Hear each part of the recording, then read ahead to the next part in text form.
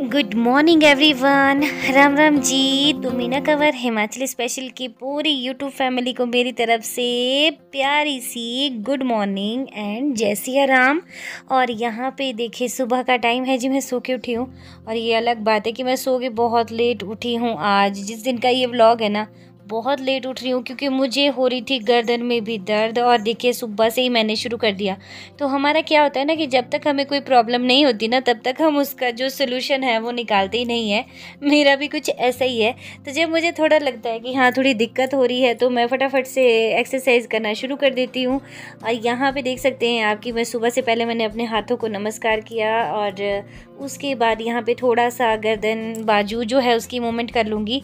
तो ये कुछ नॉर्मल सी एक्सरसाइज जो हैं सुबह से आ, करनी चाहिए जिनको कि सर्वाइकल पेन जो होता है ना वो जिनको दिक्कत है। तो जैसे रात को सोए रहते हैं ना तो गर्दन कई बार अकड़ जाती है। तो सुबह के टाइम में ये सो के उठ के मतलब बिस्तर पर ही कर लेती हूँ थोड़ी सी एक्सरसाइजेज तो भगवान का शुक्रिया अदा हमें ज़रूर करना चाहिए, भगवान का धन्यवाद हमें ज़रूर करना चाहिए कि भगवान ने हमें इतना अच्छा बनाया है। देखिए, दो आँखें, दो हाथ और बाकी हर एक चीज़ जैसे कान, नाक, मुँह, हर चीज़ दी है। तो हमें इस चीज़ के लिए ना भगवान का धन्यवाद करना चाहिए कि भगवान आपने सब कुछ हमें इतनी बेशकीमती चीज़ें दी हैं। आँख नाक कान जिनकी कोई कीमत ही नहीं इनका कोई मोल नहीं है। आ, क्योंकि ये बाई बर्थ हमें गॉड गिफ्टेड है मिली हुई इसीलिए है क्योंकि इनको हम ख़रीद के नहीं लगा सकते भी बहुत मुश्किल है। वैसे आजकल के टाइम में तो सब कुछ हो जाता है ट्रांसप्लांट लेकिन जहाँ तक बात करती हूँ ना मैं कि हम हर चीज़ के लिए भगवान को ये बोलते हैं कि हाय भगवान, मेरे पड़ोसी के पास तो गाड़ी भी इतनी बड़ी है, उसका तो घर भी इतना बड़ा है, वो तो इतना अमीर है, मुझे ये सब क्यों नहीं दिया? तो बजाय ये शिकायत करने के भगवान का धन्यवाद करें कि भगवान आपने जो भी मुझे दिया है ना, उसमें मैं खुश हूँ, संतुष्ट हूँ। और मेरे अंदर मतलब बोलते हैं ना जिसको कि मेहनत करने की एक भावना होनी चाहिए तो जो मेहनत है वो कभी ना कभी रंग ज़रूर लाती है। और मेहनत करके हम कुछ भी अचीव कर सकते हैं। तो मेहनत करना बहुत ही ज़्यादा ज़रूरी है। अगर हम सोचेंगे ना कि मतलब सब कुछ भगवान ने पहले से डिसाइड किया हुआ है तो तो मतलब कुछ हो ही नहीं सकता है हमारा। तो बहुत सारी चीज़ें ऐसी होती है जो हमें खुद करनी होती हैं और भगवान भी कहते हैं कि कर्म करता जा, फल की इच्छा मत कर, क्योंकि फल जो है वो तुझे तेरे कर्म के अनुसार खुद मिल जाएगा। तो यहाँ पे अभी सुबह के टाइम झाड़ू उठा लिया मैंने। झाड़ू लगाया है। पहले अंदर लगाया, उसके बाद बाहर लगा रही हूँ। बाहर झाड़ू लगा दूँगी, सारे में अच्छा सा क्लीन कर दूँगी, क्योंकि कोई ना कोई आता रहता है। तो फिर सुबह के टाइम मतलब अच्छा नहीं लगता कि झाड़ू नहीं लगाया हुआ है। तो झाड़ू वगैरह यहाँ पर लगा दूँगी। और यहाँ पर ना बहुत ज़्यादा धूल हो जाती है, क्योंकि बाहर हवा चलती है ना बहुत ज़्यादा, और पत्ते वगैरह, इधर से धूल वगैरह सब कुछ उड़ के आती है ना, वो अंदर आ जाती है यहाँ पर बरामदे में। तो इसलिए यहाँ पे सुबह से ही मैंने झाड़ू लगाने का कार्यक्रम जो है वो शुरू कर दिया है। और धूप देख सकते हैं आपकी, धूप कितनी अच्छी आई हुई है। वैसे अभी हल्की धूप है ये मतलब मीठी धूप है। और ये धूप बहुत ज़रूरी होती है हमारे शरीर के लिए, विटामिन डी हम इसमें भरपूर मात्रा में होती है। तो जिसको भी विटामिन डी की कमी हो ना तो सुबह के दो घंटे वो धूप में ज़रूर बैठें, जो सुबह की धूप होती है। ऐसा नहीं कि दिन में बारह बजे बैठें, जो सुबह की अर्ली मॉर्निंग सुबह से धूप जो निकलती है। यही कारण है कि सुबह के टाइम ना, पहले पुराने लोग जो हैं, वो खेतों में काम करते थे तो उनको कभी विटामिन डी की कमी नहीं आती होगी, क्योंकि सुबह की धूप जो है, वो खेतों में काम कर रहे होते थे उस टाइम हमारा ये है कि हम सो के लेट उठते हैं तो हमारे सुबह की धूप जो होती है, वो किचन में ही पूरी हो जाती है। हमें नहीं मिल पाती है बाहर की धूप। तो उसमें हमारी गलती है, उसके लिए हम किसी और को तो दोष नहीं दे सकते, क्योंकि सुबह जल्दी नहीं उठेंगे तो भाई इसमें कसूर भी हमारा ही है, इसका नुकसान भी हमें ही भरना पड़ेगा।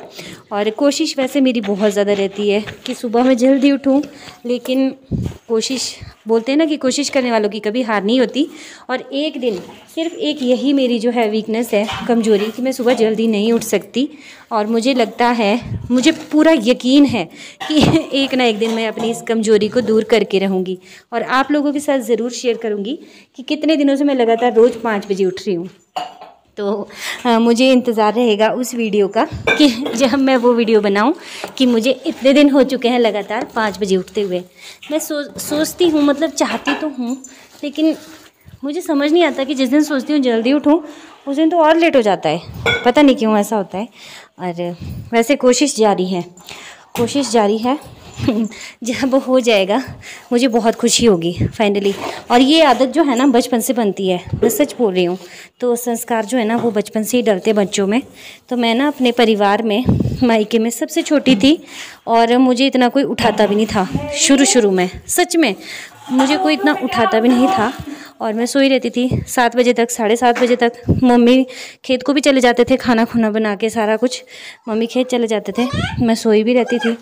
और बाद में आदत डली नहीं। डली नहीं तो डली नहीं तो संस्कार जो भी हैं आदतें ना, अगर बच्चों को शुरू में पड़ जाती हैं, छोटे में तो वो बड़े तक रहती हैं।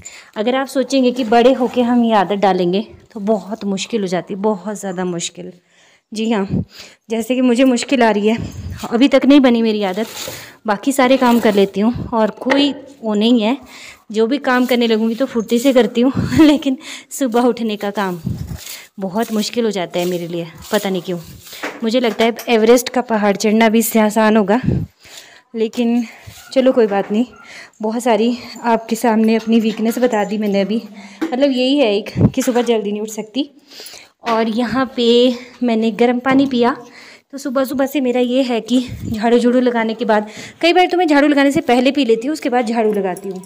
कोसा गर्म पानी ज़रूर पिए। बहुत ज़रूरी है हमारे शरीर के लिए, हेल्दी रहने के लिए पाचन क्रिया दुरुस्त रहती है और स्लिम ट्रिम बने रहते हैं। जो मोटे लोग हैं, उनको तो ज़रूर पीना चाहिए। इससे क्या होता है ना, हमारी जो रात की एनर्जी होती है ना, इकट्ठी हुई सारी की सारी वो दोबारा से एक्टिवेट हो जाती है। एकदम से बूस्ट बूस्ट बोलते हैं ना, जिसको बूस्टअप हो जाती है। जी हाँ तो अभी मैं यहाँ पे चूल्हा चौका लगी हूँ करने। गाँव में तो कॉमन है ये, हर जगह पे होता ही है। चूल्हा चौका करूँगी, अच्छे से साफ़ सफ़ाई करूँगी चूल्हे की, और चार पाँच दिन हो गए हैं। मतलब इसका जो राख है ना, वो भी नहीं निकाली अभी हमने। और पतिदेव जो हैं, वो भी उठ गए हैं। तो उनका भी यही है कि सुबह से उठते हैं, पहले वो देखते हैं कि गर्म पानी है पीने के लिए कि नहीं। तो हमने केतली रखी हुई है एक, उसमें हम गर्म करके रखते हैं पानी। तो जो आता है वो पीता जाता है और अपने अपने काम में सब लोग लग जाते हैं। चूल्हे की लिपाई बहुत अच्छे से यहाँ पे मैं कर रही हूँ, क्योंकि अभी कहते हैं ना कि साल छः महीने तक चूल्हा टूटना भी नहीं चाहिए। जैसे नए चूल्हा बनाया हुआ है ना ये, और इसमें पता क्या है, जो ये लोहे वाला चूल्हा होता है, इसमें मिट्टी लगानी बड़ी मुश्किल होती है। मिट्टी इसमें से बार बार गिरती रहती है। तो बड़ी दिक्कत हो जाती है जब मिट्टी गिरती है ना। तो ये कोशिश रहती है मेरी कि इसमें से मिट्टी गिरे ही ना। और अभी कढ़ाई में मैं राख निकाल रही हूँ, क्योंकि राख से चूल्हा जो है वो फुल हुआ हुआ है। तो इसको थोड़ा खाली करेंगे ना तो इसमें आग भी अच्छे से चलेगी और आँच भी अच्छे से लगेगी।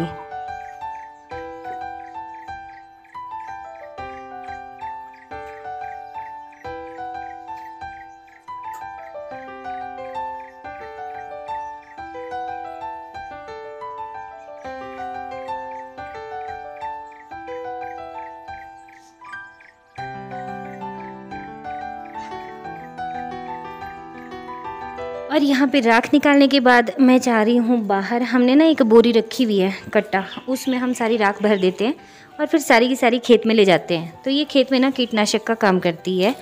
खाद का भी काम करती है पौधों के लिए, क्योंकि इसमें बहुत सारे जो होते हैं ना मिनरल्स जैसे कि ये नहीं मुझे एग्जैक्ट पता कि फास्फोरस नाइट्रोजन क्या होता होगा इसमें, लेकिन होता है पोटेशियम वगैरह कुछ ना कुछ इसमें होता है।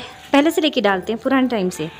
तो यहाँ पे मैंने आलू लाए हुए हैं, गोभी कट करी भी है। आज बनेगी आलू गोभी की सब्ज़ी।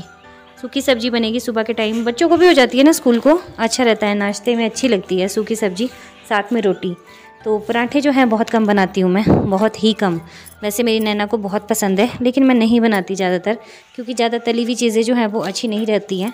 कभी कभी तो चल पड़ता है, जैसे हफ़्ते में एक या दो दिन, लेकिन हर रोज़ नहीं देती हूँ। मैं उसको यही देती हूँ, सब्ज़ी, रोटी, दाल, रोटी। चावल नहीं खाती है वो। चावल बिल्कुल नहीं खाती है, चावल उसे पसंद ही नहीं है। घर में नहीं खाती। जैसे बाहर शादी वगैरह में जाते हैं ना कहीं प्रोग्राम में, वहाँ पे तो खा लेती है, पर घर में नहीं खाती चावल। तो चावल बहुत कम बनते हैं, मेरे घर में बहुत कम खाते हैं लोग अब। हम खाते ही नहीं है चावल, कम हो गया चावल खाना। पता नहीं क्यों सडनली चावल खाना छोड़ दिया सबने घर में। मैंने छोड़ा ना, मैं कम कर मैंने कम किया खाना सबने ही छोड़ दिया चावल खाना। कई बार मैं सोचती भी हूँ कि चलो छोड़ो। मैंने नहीं खाया तो सबने छोड़ दिया। थोड़ा थोड़ा ही खाते हैं। सभी मना करते हैं अब कि नहीं खाने, चावल नहीं खाने, रोटी दो। तो हर चीज़ ज़रूरी होती है हमारे लिए ना। चावल भी, रोटी भी, सब चीज़ें खानी चाहिए। मैं तो इसलिए नहीं खाती हूँ क्योंकि मुझे थोड़ी यूरिक एसिड की प्रॉब्लम है ना तो उस करके मैं नहीं खाती। और इसमें थोड़ा दिक्कत हो जाती है। अगर चावल हम खाते हैं ना वायु होते हैं क्योंकि वात विकार प्योरन ज़्यादा होता है तो वो हमारे एसिड बनाता है शरीर में ज़्यादा। तो ना ही खाएँ तो अच्छा रहता है। वैसे कभी कभी खा लेती हूँ। मन करता है ना खाने को तो अच्छे लगते हैं, लेकिन होती है मेडिकल प्रॉब्लम नहीं खा सकते तो। तो इसलिए यहाँ पे अभी सब्ज़ी में तड़का लग रहा है। और आज जो मैं वीडियो कुछ अलग ही तरीके से एडिट कर रही हूँ। आपको भी लग रहा होगा क्योंकि मैं ना एक हाथ से काम कर रही हूँ और मैं पता क्या काम कर रही हूँ अभी? मैं अभी गोबर इकट्ठा कर रही हूँ गाय का। एक हाथ से गाय का गोबर इकट्ठा कर रही हूँ और इसको ना मैं भर के रख दूँगी अभी क्रेट में। इसका ब्लॉग नहीं बना पाऊँगी क्योंकि अभी वीडियो एडिट हो रही है। तो यही होता है मेरे साथ ना जब मैं वीडियो एडिट कर रही होती हूँ उस टाइम में जो भी काम कर रही होती हूँ ना वो काम मैं कैप्चर नहीं कर पाती। बड़ी वीडियो को करो और हमेशा आपको ज़्यादातर काम काम काम काम ही दिखाती हूँ। क्योंकि मेरा रूटीन यही रहता है ज़्यादातर। तो घर का सारा काम निपटा के अभी मैं सार्थक को जो है आंगनबाड़ी के लिए ले जाने की कोशिश कर रही हूँ, लेकिन आज के लिए बहुत शैतान हो गया है, सच्ची में। तो अभी बज चुके हैं सुबह के ग्यारह और इसको मैं थोड़ी देरी आंगनवाड़ी में छोड़ने जा रही हूँ। पहले मैं सोची थी, मैं रहने देती हूँ, क्योंकि इसको ना थोड़ा जुकाम सा लग रहा था, लेकिन ये बोल रहा था कि मुझे आंगनबाड़ी जाना है। तो अभी मैं इसको आंगनबाड़ी में लेके जा रही हूँ। घर का काम मेरा सारा हो चुका है। कपड़े धोने को रहते हैं, बस कपड़े धोने लगाए हैं और मेरे पास एक काफ़ी बड़ा केक का ऑर्डर आया हुआ है, वो मुझे बनाना है। तो उसको मैं अभी इसको छोड़ूँगी, उसके बाद बनाऊँगी। चलिए।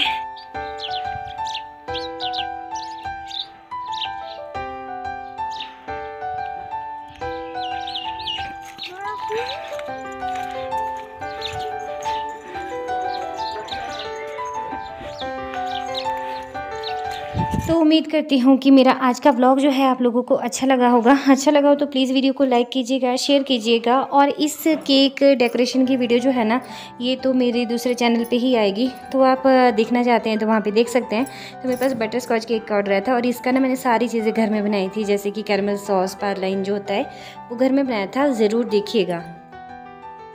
तो ये देखिए टू के का बटर स्कॉच केक जो है बन के रेडी हो चुका है और अभी मैं ना उबरे को भी नहीं गई हूँ। चाय भी नहीं पिया शाम की, यही रेडी किया देखिए। शाम से तो भारी लग रहा है हाथ में। देखती हूँ।